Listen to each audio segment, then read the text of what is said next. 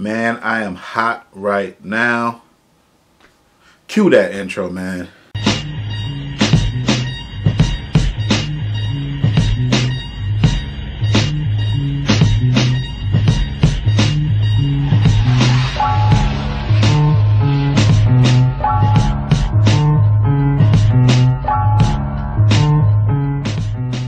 Alright, what up everybody? It's your boy the Smart Sneakerhead in the house coming with a very quick video. As always, before we get started, please hit that thumbs up, comment, subscribe, share. Click the little bell on the front of my homepage on my YouTube channel so you know when all my videos drop. Truly appreciate all the support.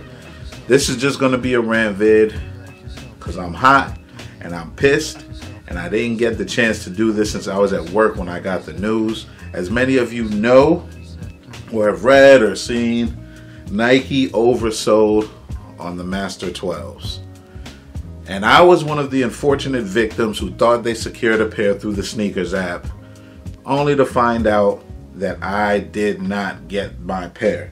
Now, as I've, most, many of you may know already, Nike sent out an email apologizing for the error and the fact that they oversold on the Master 12, which keep in mind, I already going for like 350, 400. And this news alone that they oversold is only going to drive up the resale price because the hypebeasts are real out there. But basically, what happens is they sent the email. I'm gonna read you the email. It says we're sorry that we're unable to fulfill your Air Jordan 12 retro order number. Blah blah blah blah blah. The item turned out to be so popular that the number on Nike.com orders placed exceeded our inventory, and product is not, and the product is now unavailable. To make up for that, we're setting aside a pair of the Air Jordan 12 French Blues, which are right here. For those who somehow don't know what those are that will be drop that will drop in the coming weeks exclusively for you and your side for you to purchase should you want them. You'll also receive a 20% off your next order uh, code, whether it's for the Jordans or for something else. And then they just said they would email in the upcoming weeks with the full details um, and how to reserve it and how to take advantage of it, and left the promo code, which is USC. Did I really think I was gonna read that. But uh, yeah, I was pissed. I was at work. I got that, and I was wondering something was up because usually when Nike gives you the, the sends the confirmation. Um, in this case, through the SNKRS app, you got your order number. Usually, the confirmation and the shipping uh, email goes out that day or the next day.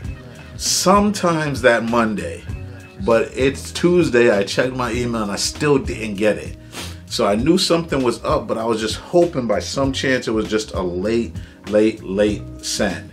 Because that's what kind of happened with my OVOs. I didn't get the confirmation email till late Monday, early Tuesday that it was shipped. The fact that it was the Master 12s, I don't know, something about it just really appealed to me more than the French Blue 12s. And I know the OVO 12s come out, the Cherry 12s are supposed to come out, the Flu Game 12s are supposed to come out.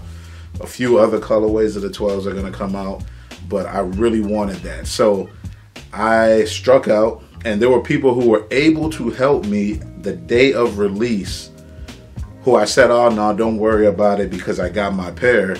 And now I struck out that way. Now I can't find it anywhere.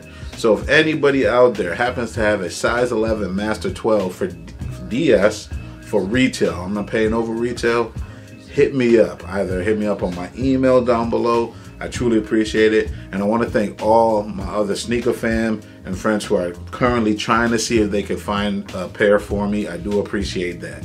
I appreciate the fact that Nike went ahead and took an initiative instead of just saying, oh, we'll refund your money. They gave a code, which I'll definitely use. I believe you have to use it by August.